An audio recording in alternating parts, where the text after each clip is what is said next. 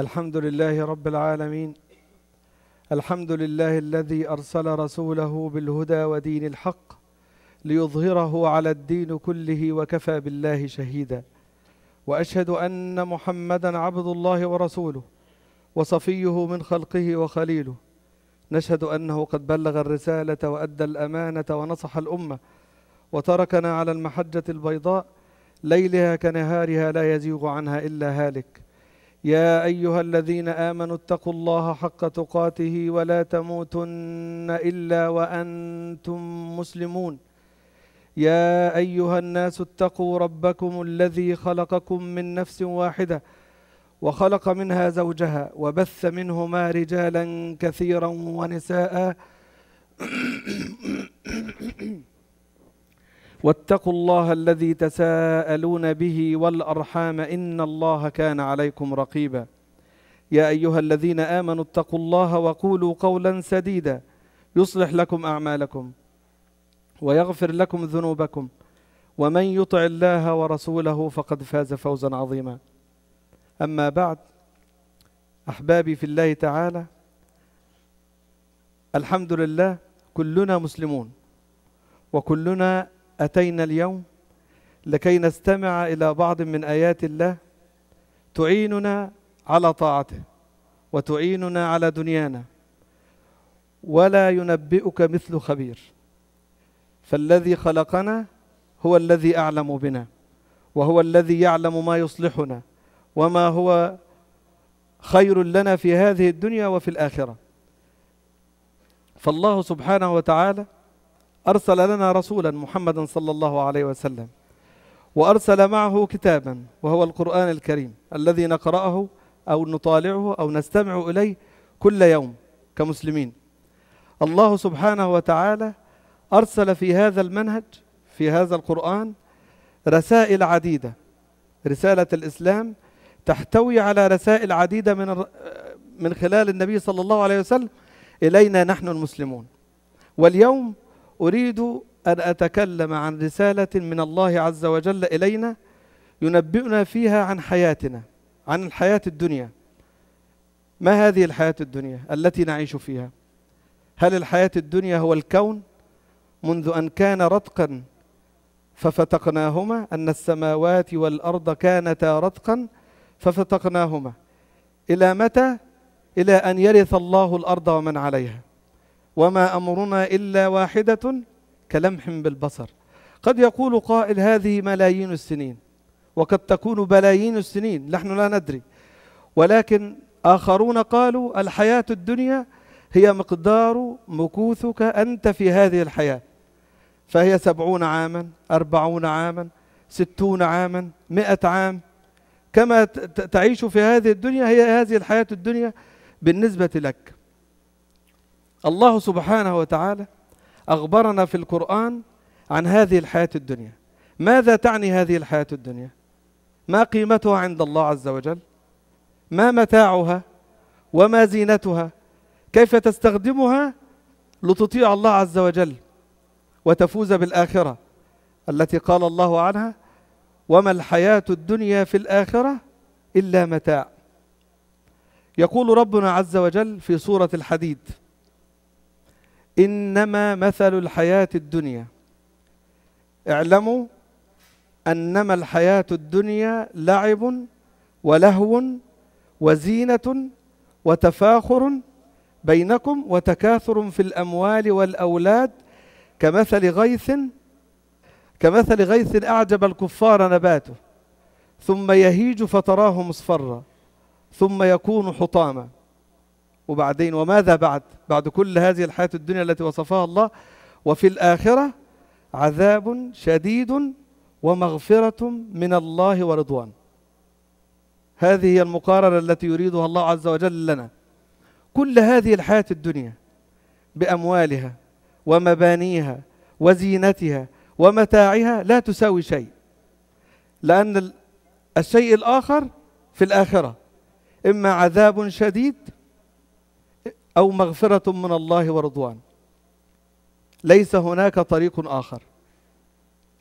في الدنيا قد تكون لك طرق متعددة وآمال عريضة.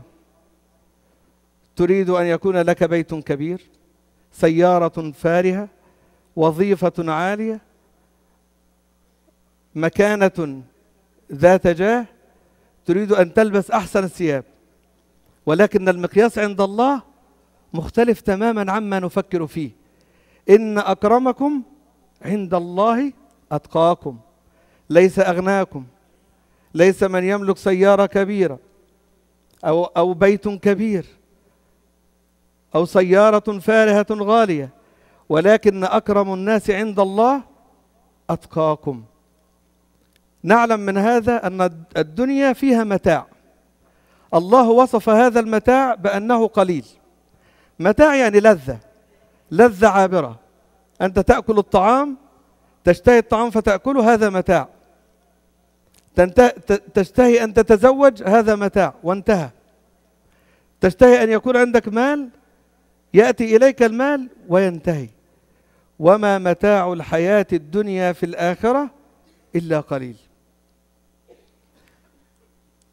أول علامة من علامات الدنيا أنها متاعها بالنسبة للآخرة قليل. الأمر الآخر أن الحياة قصيرة. يعني إذا سألتك اليوم ماذا أكلت منذ يومين؟ لا تدري. ماذا فعلت الأسبوع الماضي؟ لا تدري.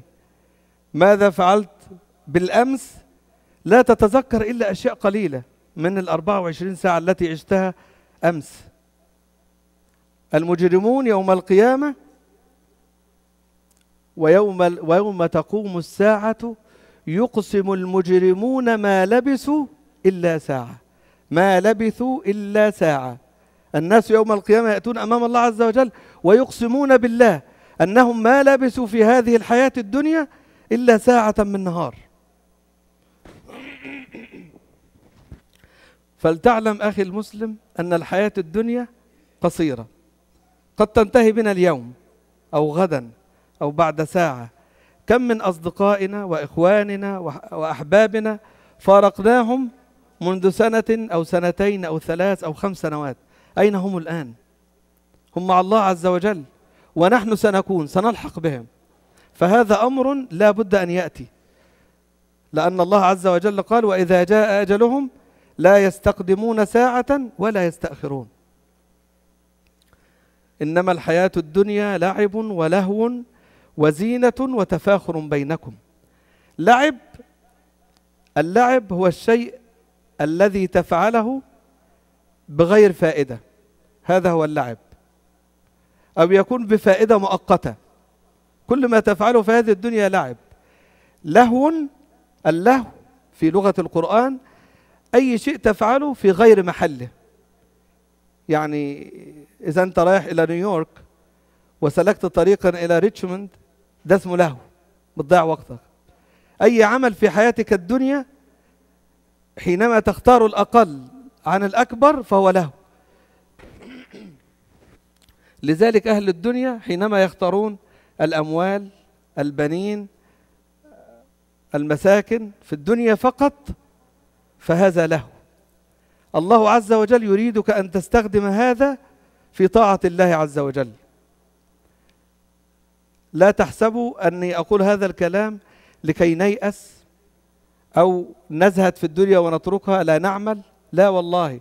الله عز وجل هو الذي يقول هو الذي يخبرنا بهذا لكي يدفع إلى قلبك الأمل. فأنت تعمل لشيء آخر. أنت لا تعمل إلا هذه الحياة الدنيا. أنت لا تجتهد وتضيع عمرك وحياتك لكي تسعد بثمانون عاما. الله عز وجل يريدك أن تتعب وتكد وتكدح وتكسب الأموال ولكن لماذا؟ لكي تسعد بحياة إلى ما لا نهاية الحياة الخالدة. لأن هذه الدنيا يا إخواني كما ذكر الله عز وجل في القرآن لها تنغيصتان. حتى إذا كنت أغنى واحد في الدنيا. أغنى واحد الآن. أغنى واحد الآن كم يملك من الأموال؟ خمسين أو أكثر من خمسين بليون دولار. ولكن هل ستمنعه من الموت؟ لا تمنعه من الموت. فالموت ينغص علينا حياتنا شيء طبيعي. ولكن للمؤمن هو يذهب إلى الله عز وجل. يعرض على أرحم الراحمين على أكرم الأكرمين على الذي ننتظر أن نراه منذ زمن بعيد. نحن ننتظر أن نرى هذا الإله. الذي نعبده كل يوم الذي نشكره كل يوم الذي نذكره كل يوم. لذلك للمؤمن حياته باقية. كم من الناس في هذه الحياة الدنيا ينفقون أموالهم ليطيلوا من أعمارهم؟ اقرأوا على الإنترنت إذا أردتم.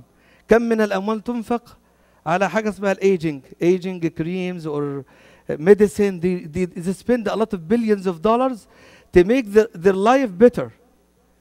To have more healthy life.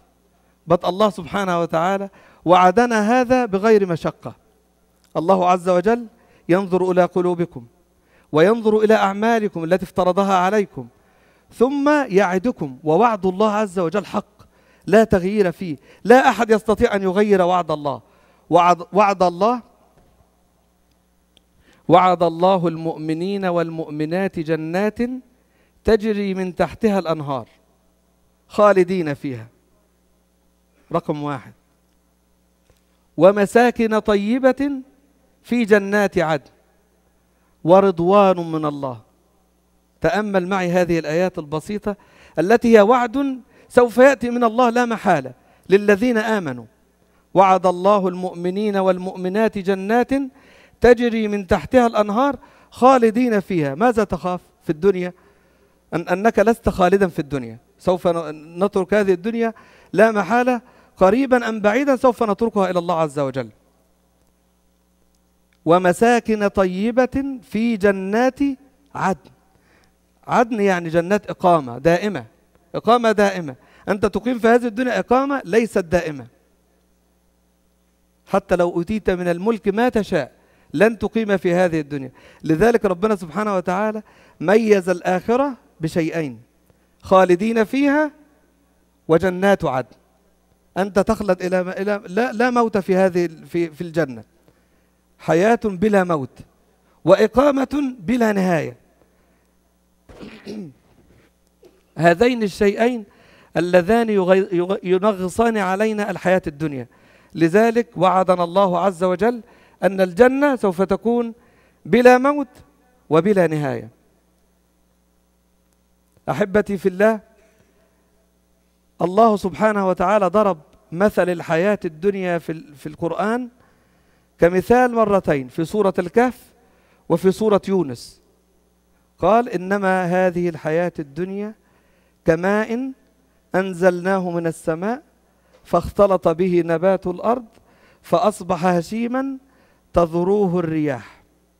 وكان الله على كل شيء مقتدرا. تخيل معي الحياة الدنيا. حياة حياة أي شخص. يكون شابا قويا يجمع المال يتزوج يكون له بيت وأولاد ووظيفة ثم ماذا؟ يتركها ويموت. هذه الحياة الدنيا. ربنا اداها مثل من الواقع. مثل واقعي نراه بأعيننا كل يوم.